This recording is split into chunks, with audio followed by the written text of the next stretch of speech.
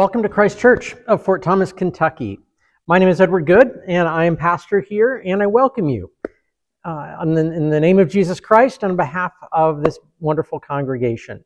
Our guiding statement as a congregation is that we embrace all as we journey the way of Jesus. So, wherever you are in your life journey, your faith journey, we welcome you, we embrace you, we are grateful you're here with us.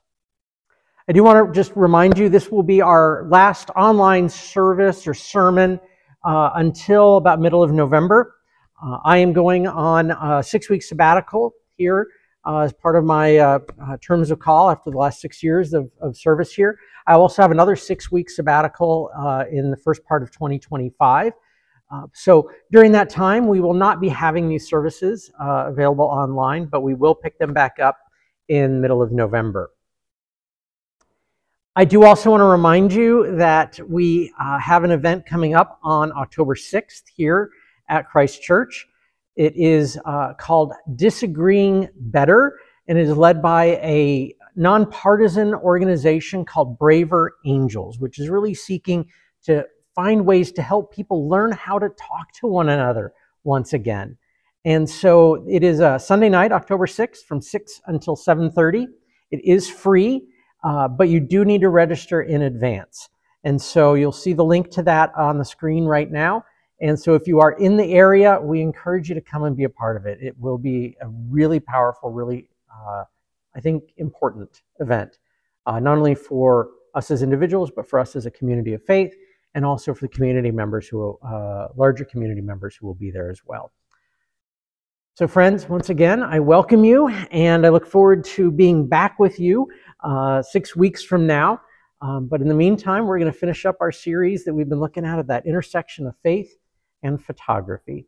And so we're going to do that by uh, starting out with words of scripture from Paul's first letter to the Corinthians. We're reading from chapter 12, um, beginning in verse 12 and going through verse 26. So let us pray.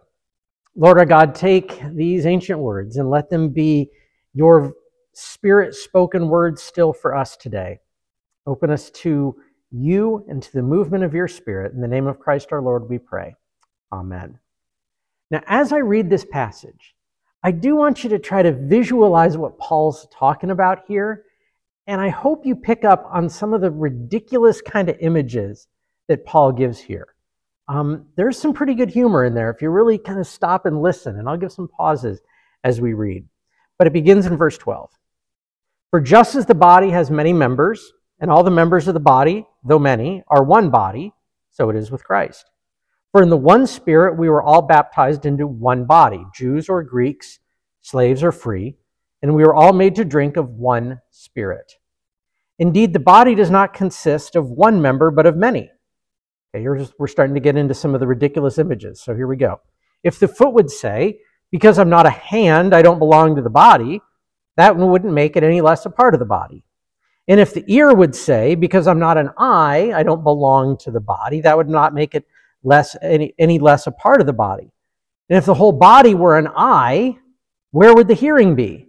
And if the whole body were an ear, where would the sense of smell be? But as it is, God arranged the members of the body, each one of them as God chose. If all were a single member, where would the body be? As it is, there are many members, but one body. The eye can't say to the hand, I have no need of you, nor the head to the feet, I have no need of you. On the contrary, the members of the body that seem to be weaker are indispensable. And those members of the body we think less honorable, we clothe with greater honor, and our less respectable members are treated with greater respect. Whereas our more respectable members don't need this. But God so arranged the body giving greater honor to the inferior member, that there be no dissension in the body, but the members may have the same care for one another. If one member suffers, all suffer together with it. If one member is honored, all rejoice together with it. This is the word of the Lord. Thanks be to God. Over the last three weeks, We've been exploring the intersection between the practice of photography and the living of our faith, the, the faith lessons we can learn from this uh, practice. And so we've looked at three different things. We've looked at uh, the first week about framing and focus and how we fix our eyes on Jesus is the, the focus of our lives and what is it that we put in the frame, so to speak, of our lives. Second week, we talked about the shutter in the camera, the part of the camera that uh, controls how much light or how long this, the, the image sensor is exposed to the light. And we talked about the passage of time and how we can look back in our lives and see the flow and the movement of God's work in the past. And then last week we talked about the aperture, this circular thing within the lens of a camera that controls how much light comes into the camera. We talked about what is it that we let into our lives? How much stuff are we taking in and what does that do in terms of the ways in which we live our lives going forward? So, in a sense, we talked first week about the present, last week, two weeks ago about the past, then last week about the future.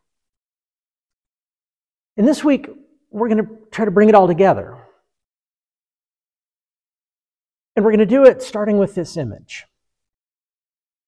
This is an image I photographed about a month ago, maybe six weeks ago, something like that at Winton Lake near my house.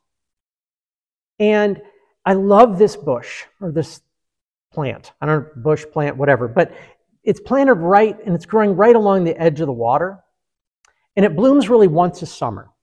And I just love these big, beautiful white blooms that open up right about sunrise. And it's just this beautiful moment of these blooms opening wide open to, to take in the morning light.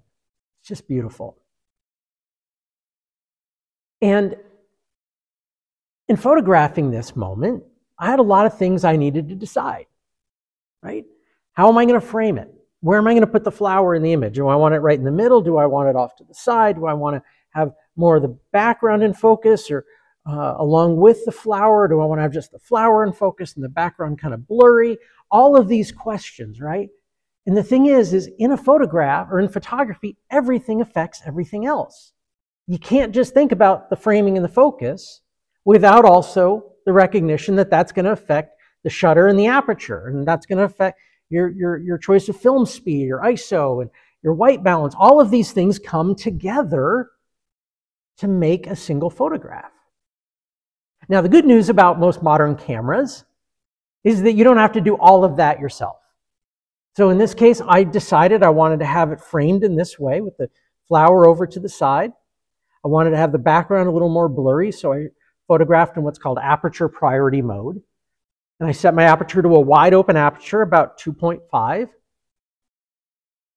And then the camera adjusted everything else, but it adjusted the shutter so it didn't overexpose and adjusted the white balance based on where I was focused. And if I changed that, it would affect everything else. Everything affects everything else. And if there's one thing that you remember out of these last few weeks, I want you to remember that. I really do. Everything affects everything else. It's all connected. And I really believe over the last 10 plus years of my life, that is the biggest lesson that God has been teaching me. I shared our first week of this series back on September 8th about my experience in Davidson, North Carolina in November of 2013, where I had this week in the midst of one of the most trying and difficult times of my life, that I had a week that completely changed my life. And, and in that week, as we're talking about clergy health or personal health and so forth, each day during that week, I met with our group. We met individually with a therapist. We met with an Enneagram coach. We met with a spiritual director. We met with a physical trainer every single day. And multiple days, we also met with a nutritionist, and some days we met with a financial advisor, and some other things that went on throughout the week. The idea being is that our health isn't just one thing, it's all of these things together, and how everything affects everything else. The physical trainer, the personal trainer, actually said that I was one of the fittest pastors that she had worked with which was really great to hear. But here's the thing I wasn't healthy. Yes, I was healthy physically, But all the other parts of my, many of those other parts of my life were not healthy, right? Everything affected everything else. And over the last 10 years, I've continued to see this reality in my own life and also in creation around us. I see it in the church. I see it everywhere. That everything is connected. It's all connected. Everything affects everything else. Paul seems to get some of that in this passage from 1 Corinthians. Paul's writing to a group of believers that are divided. They are broken up one against another. They're fighting among each other. They're saying who's more important, who's more spiritual, who's closer to God, who's more worthy. All of this stuff is the things you read about in the first 11 chapters of 1 Corinthians. They're a mess, right? They're unhealthy. But then Paul gets to this place in chapter 12 where Paul gives them this beautiful analogy of the human body, this thing that we each have. And, and he paints this picture for them that in some ways is kind of ridiculous at points. You know, if the whole body were an eye, where would the sense of hearing be? If the whole body were, were an ear, where would the sense of smell be, right? They're kind of ridiculous images in a sense. But Paul's point of it is every part is important. Every part is essential to the functioning of the healthy body. And that if one part is suffering, the whole thing suffers. If one part is rejoicing, the whole thing rejoices. It's all connected, is what Paul is lifting up to them. And so when that one part of the body is broken and divided, the whole thing is hurting. Like I said, I've continued to see this in so many places. I do. I see it in the life of the church.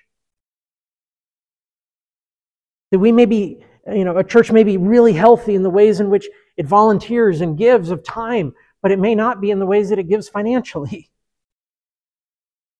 Or it may be really amazing in its worship life and community life, but it isn't doing anything in terms of how to grow as disciples. It may be really great at kind of spiritually feeding itself, but it may not be a community that is reaching out beyond the walls. All of it is essential. Everything's connected. I see it in creation. A small example, unfortunately, it's kind of a negative example, but um, this past Tuesday, at our lunch and learn, we had folks from Raptors Inc. who were here, a, a raptor rescue organization. They brought these three beautiful owls. They talked about, though, how barn owls are really starting to disappear in our country because their habitat's being taken away, but also because they're getting unhealthy food. One of their primary uh, sources of food are mice. And what's happening is people don't like mice in their house, so they put out uh, mouse or rat poison. The mouse eats that and maybe gets out of the house before it dies. And as it's weakened, the owl sees it and swoops up, eats it up. And all of a sudden, now the owl gets sick because it ate the rat that ate the poison that was put out there because we didn't want a mouse in our house. It's all connected. I read this book a few weeks ago called The Light Eaters that paints this amazing picture of what science is finding about the intelligence of plant life. And, and how plant life is connected to itself and connected to us in ways that science is just now getting the tiniest glimpses. It's amazing and incredible and beautiful. It's all connected. That is so essential for us. In a country and in a world that does focus on individualism and separateness, the gospel message is a different one that says, no, we're not all separate, separate beings. We are part one with another. There's a beautiful man named Thomas Merton. He was a monk in Kentucky at the Gethsemani Abbey near Louisville. And he wrote about this revelatory moment that he had in the most common of places. He writes this In Louisville, at the corner of 4th and Walnut, in the center of the shopping district, I was suddenly overwhelmed with the realization that I loved all these people, that they were mine and I theirs, that we could not be alien to one another even though we were total strangers. It was like waking from a dream of separateness, of spurious self isolation in a special world. And then it was as if I suddenly saw the secret beauty of their hearts, the depths of their hearts where neither sin nor desire nor self knowledge can reach, the core of the reality, the person that each one is in God's eyes. If only we could see each other like that all the time.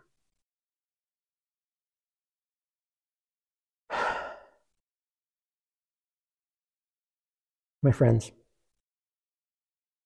we are in a divisive time right now. And this is a place that the gospel can speak a different word, an encouraging word and a challenging word. We are all connected. I am yours and you are mine. You are a child of God. I am a child of God.